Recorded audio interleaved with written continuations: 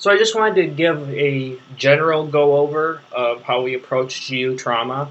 Uh, you should, I would suggest watching this uh, video before looking at the distal and proximal uh, GU uh, lectures, and then watching this again after, uh, so you can kind of look at it in retrospect as well. Um, GU trauma is rather complicated, and that's just because the genitourinary anatomy is kind of complicated. And as a matter of fact, it's so complicated that there's its own specialty called urology.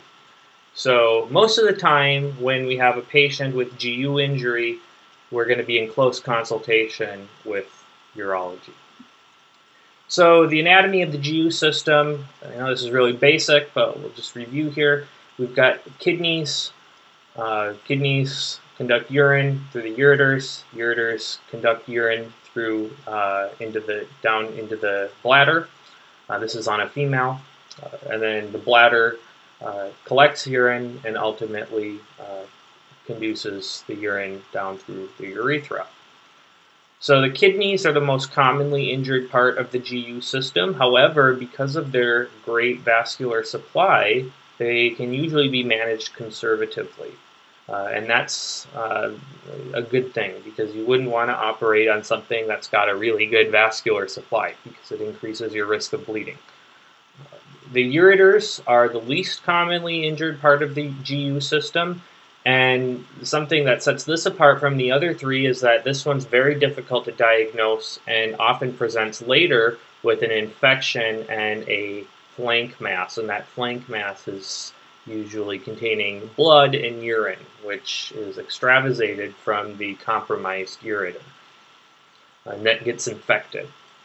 Uh, the bladder commonly presents with gross hematuria when you catheterize the patient, either if it's a Foley catheter or a suprapubic catheter, uh, it doesn't matter. Uh, this is usually gross hematuria. And um, if you think of uh, why that might be, it would make sense. There's, again, lots of vasculature around the bladder, but uh, where would that blood go? It would go straight into the urine, and that urine goes straight out. So there comes your hematuria. The urethra is almost exclusively a male injury. Um, so I'm not sure why I have a picture of a woman here, but uh, it's almost exclusively a male injury because the urethra in the male is so much longer. Uh, it can be 8, 9, 10 inches long, uh, whereas in a female, it's usually not much bigger than your middle finger. So uh, this is usually a male injury. The big thing here to look for is blood at the meatus. That signifies a urethral injury until proven otherwise. It can also be a boggy prostate, high riding prostate, uh, or if you don't have any of that and you try to insert a Foley catheter, you can have difficulty inserting the Foley catheter because of the disruption of the urethra. So, just in general, how you approach this, uh, hematuria is a common thread uh, in most trauma to the GU system, but there's some exceptions. Uh, kidney trauma doesn't necessarily give you hematuria. Uh, your, your uh, urethral trauma, trauma to the ureters, uh, usually uh, doesn't always give you hematuria. So there are some exceptions. Uh, most GU trauma is non-life threatening. There are only a couple exceptions, and they are to the kidney. Um, and that's again because it's very vascular. Uh, you, you can get, if, if you get enough trauma, you can bleed out. So the major exceptions are if you have multiple severe lacerations of the kidney, which is considered, uh, a lot of people call it a shattered kidney because it looks like shattered glass when you uh, uh, when, when you look at it because there's multiple fragments. Um, or large vessel disruption. So let's say that you compromised the uh, the main renal artery. That's obviously going to be a problem as far as bleeding. Okay, most GU trauma is caused by blunt injury and fractures of the pelvis. The pelvis, when it's fractured, can be sharp, and that can uh, cause laceration to surrounding organs. Pelvic x-rays are always taken as part of your initial trauma imaging workup. So just like your chest x-rays, you're going to get a pelvic x-ray as well because pelvic uh, injury is so common. Uh, about, can't remember the number, I think it's about 10 to 20% of all trauma patients have some kind of genital urinary trauma.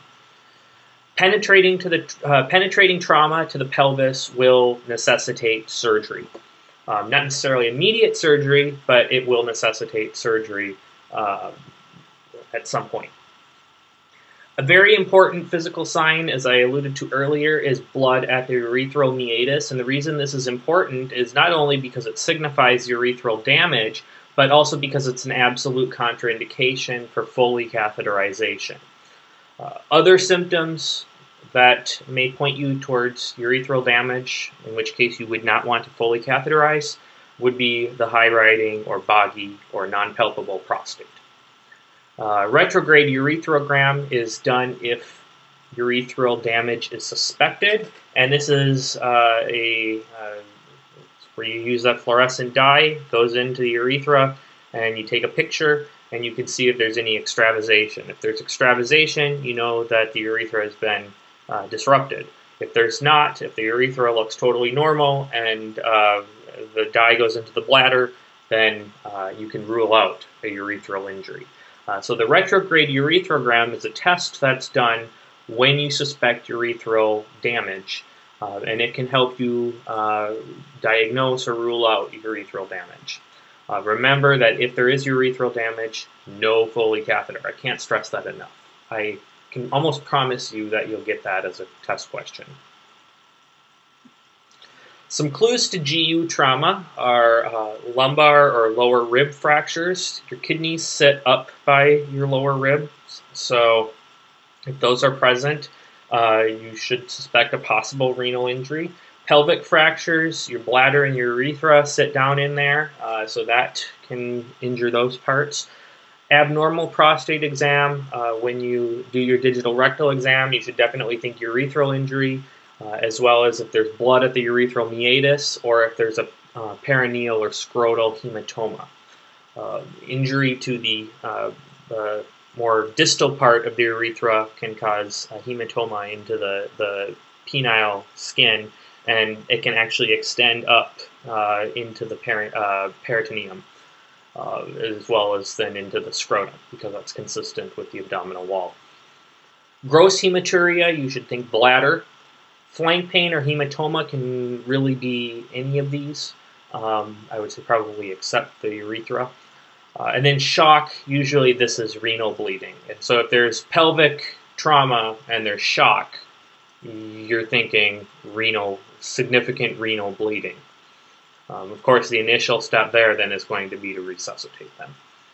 Ruling out a urethral injury always is going to take precedence over evaluating more proximally into the GU tract. So if you suspect urethral injury, stop right there, rule out the urethral injury, uh, or rule it in if it's there, uh, and then you can go on to evaluate the rest of the GU tract. But if you suspect a urethral injury, you need to evaluate that first with an RUG.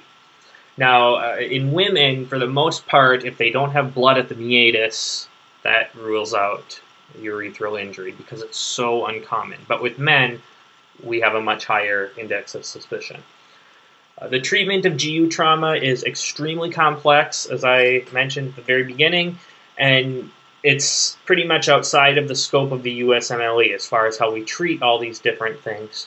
It's important to know that you're going to be in close consultation with urology, uh, and when the GU trauma is confirmed, when we know it's a urethral injury or it's a bladder injury, they're going to be the ones that are doing treatment. The most appropriate initial diagnostic tests by organ, if you suspect kidney damage, it's a helical CT with IV contrast. If you suspect ureteral damage, it's also a helical CT with IV contrast. For bladder damage, it's a CT cystogram. And for urethral damage, it's the retrograde uh, urethrogram. Okay, so I made this algorithm here uh, that you can think of when you're kind of going down the uh, thought process of how you deal with the GU trauma patient. So if it's blunt GU trauma, which is the most common, uh, then course, you should make sure that you have your pelvic x-ray uh, so you know if there's any bony injuries. And then, of course, attend to any critical injuries. So if they have a tension pneumothorax, you're dealing with that first. Um, so the first thing you're asking yourself, is there blood at the meatus? If there's blood at the meatus, you're going on to do the retrograde urethrogram. And if it's abnormal, showing that there's urethral injury, it's a urology consult. You don't need to know how to treat it, just know it's a urology consult. If there's no blood at the meatus or the RUG is normal, then you can go ahead and pass the Foley catheter. If there is gross hematuria, which points you towards bladder injury, you're going to get a CT cystogram. I also should add that if it's microhematuria in a pediatric patient, we're also going to get a CT cystogram. Usually, if it's microhematuria in an adult, we don't need to get a CT cystogram. But in pediatric patients, it's recommended that even if you have microhematuria with GU trauma, you still get a CT cystogram. So gross hematuria in an adult or microhematuria in a pediatric patient, you're going to get the CT cystogram. If that's normal, you can observe the patient. If it's abnormal, urology consult. If the patient has microhematuria, you ask yourself, does the patient have a history of shock or do they have a present pelvic fracture? If the answer to either of those is yes, you get a CT cystogram. If the answer to both of those is no, you can observe them.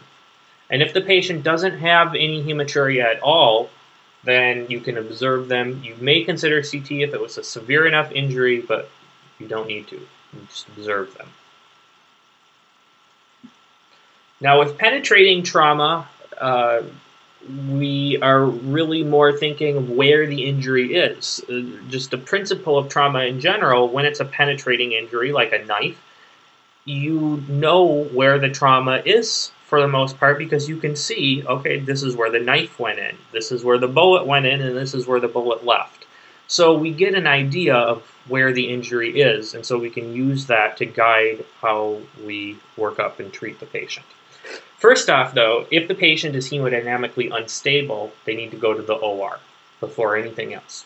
If the patient's hemodynamically stable, then we ask ourselves, where is the injury? If it's to the penis or vagina, and this is kind of getting into genital injuries, um, then we need to think, because it's penetrating, we need to think, is there hematuria? Because, remember, the penis carries the urethra, and the vagina is close to the urethra, so we want to get a urine sample um, see if there's hematuria. If there is hematuria at all, uh, even microhematuria, you're going to get a retrograde urethrogram. Otherwise, this is a urology problem.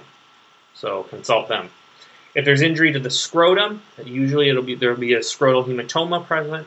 Um, but either way, if there's injury to the scrotum, your best initial step is going to be a transscrotal ultrasound. Again, normal, observe, abnormal, urology consult. If the injury is to the suprapubic area, sort of that mons pubis area, um, then you're going to get both an abdominal CT because there is bowel down there, um, and you'll also want to get a CT cystogram because there's bladder down there. So usually these can both kind of be combined into the same test because a CT cystogram is a CT, um, and so you can just extend it past get the abdomen too. Um, so an abdominal CT and a CT cystogram. If they're uh, normal, you can observe. If they're abnormal, urology. And then if this is penetrating trauma to the lower chest, flank, back, and abdomen, or abdomen, uh, you'll want to get an abdominal CT uh, in addition to other tests that you may uh, be interested in getting. Uh, if it's chest, namely it'd be a chest x-ray. Um, again, if this is normal, uh, observe the patient. If it's abnormal, urology consult. So you can kind of see a theme here. Um, for penetrating trauma, though, it's important to know where the injury is. That's going to dictate how you work the patient up. For blunt trauma, the big question is, is there blood at the meatus? There's no blood at the meatus. You pass your Foley catheter, and then you check your urine. And depending on how that urine looks, uh, or if there's microhematuria or gross hematuria, you're going to get a CT cystogram or not. So I will explain these in greater detail in subsequent sections.